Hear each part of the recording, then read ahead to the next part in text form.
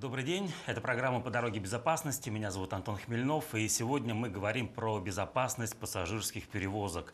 Гость программы Дадаев Евгений Павлович, начальник отделения регистрационной экзаменационной работы и технического надзора отдела надзора окружной госавтоинспекции. Евгений Павлович, добрый день. Здравствуйте. А, все мы помним страшную трагедию, которая произошла несколько лет назад в нашем округе с, со спортсменами молодыми и маленькими.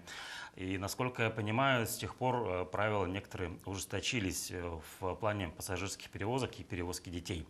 Расскажите, как э, сегодня в округе организована профилактика ДТП с участием автобусов?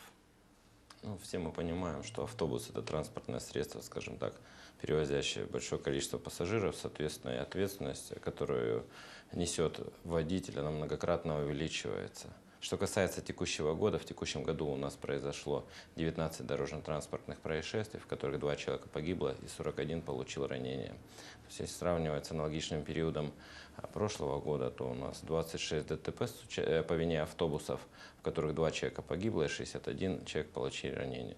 Что касается комплекса мер а, по обеспечению безопасности пассажирских перевозок, э, здесь э, комплекс мер достаточно широкий.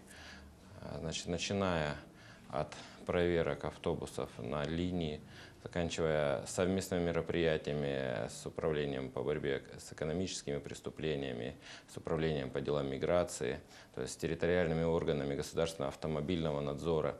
А, также сплошные проверки автобусов а, в вечернее время, именно в то время, когда передвигается наибольшее количество межрегиональных, межмуниципальных э, маршрутов, именно перевозящих, количество, э, перевозящих большое количество пассажиров. Вот. Контроль режима труда и отдыха водителя, что важно, чтобы понимать, что водитель, который управляет транспортным средством, управляет автобусом, перевозит пассажиров, находится, скажем так, скажем так отдохнувшим. В адекватном состоянии. В адекватном состоянии, да, да. А, расскажите, как организованы перевозки детей, э, как а, устроен этот процесс? Ну, а, перевозка детей – это, скажем так, наиболее такой ответственный процесс. То есть это наше будущее, наши маленькие пассажиры. Вот. В части организованной перевозки групп детей – значит, деятельность госавтоинспекции регламентируется постановлением правительства 2013 года 177 и межведомственным а, приказом, а, межведомственным окружным приказом 10-сторонним, который был подписан начиная с 2017 года и, скажем так, совершенствуется до настоящего времени.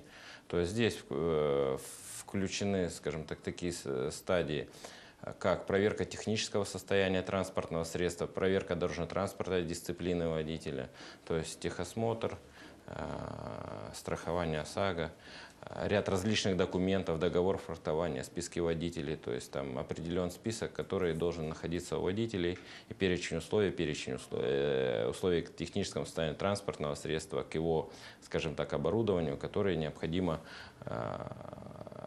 иметь для осуществления перевозки детей. Вот. И каждая, перед каждой перевозкой э, данный комплекс мероприятий выполняется каждым автобусом. Плюс э, каждая перевозка организованная групп детей э, не менее трех автобусов. То есть подается уведомление в подразделение госавтоинспекции. То есть каждый автобус отслеживается, каждый автобус мониторится, то есть техническое состояние водителей. То есть три и более автобуса у нас организуется сопровождение автомобилями госавтоинспекции. На всем следовании? На всем пути следования. А не возникают ли каких-то трудностей в этом направлении? Я имею в виду э, те учреждения, организации, которые занимаются э, перевозкой детей. Может быть, э, кто-то не понимает всю ответственность, может быть, кто-то не знает всех правил. Ну, здесь хочу сказать, что большинство, большинство руководители организаций, да, индивидуальных э, предпринимателей все же осознают ответственность. Вот, если брать э, в текущем году у нас порядка трех тысяч организованных перевозок групп детей э, в этом году было. И на данное количество за 10 месяцев текущего года опять нарушений указанного вида перевозок. Не То самые это, страшные нарушения эти. Ну, да, да, да, да, да. То есть, как бы они не привели к печальным последствиям, то есть отсутствие одного документа, то есть Э, скажем так, никакого критичного нарушения не было. Ну, это очень хорошая статистика, на мой взгляд. Э, Тем не менее, все равно происходят аварии. Вот недавно была авария с э, автобусом из Омска, насколько я помню. Э, Основные причины, из-за чего происходят аварии с э, автобусами. Ну, что касается э, аварийности по вине водителей автобусов, да, я уже как говорил, что 19 дорожно-транспортных происшествий в текущем году. А, Что касается причин, это первая причина. Несоответствие скорости конкретным условиям движения. Здесь речь идет абсолютно не о превышении каком-то скорости. То есть есть конкретные дорожные метеорологические условия, конкретная дорожная ситуация. Просто и- не учли. да, просто не учли, а, допустили, скажем так, нарушение пункта ПДД 10.1, произошло дорожно-транспортное происшествие. Второе – это несоблюдение дистанции. То есть если а, по первой причине произошло 7 ДТП, по второй причине 5 дорожно-транспорт- э, дорожно-транспортных происшествий.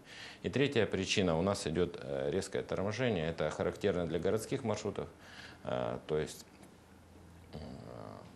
либо э, кто-то подрезал автобус, либо перед остановкой э, значит, э, совершил резкое торможение, пассажир ударился, скажем, получил травму.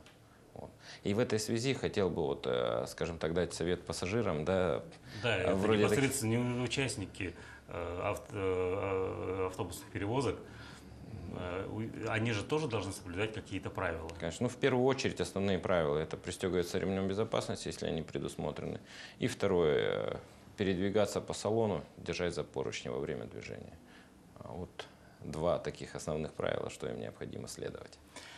Э, Это была программа по дороге безопасности. Сегодня мы говорили про безопасность пассажирских перевозок. И гостем программы был Дадаев Евгений Павлович, начальник отделения регистрационно-экзаменационной работы и технического надзора отдела надзора окружной госавтоинспекции. Евгений Павлович, благодарю вас и до скорых встреч в эфире. Вам спасибо. До свидания. Всего доброго.